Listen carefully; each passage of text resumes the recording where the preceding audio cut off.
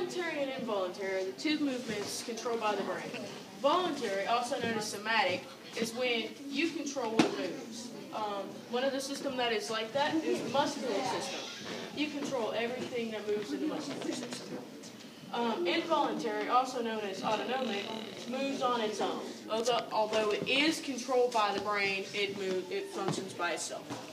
Um, the circulatory system is a system uh, that is autonomic. It pumps, works all by itself.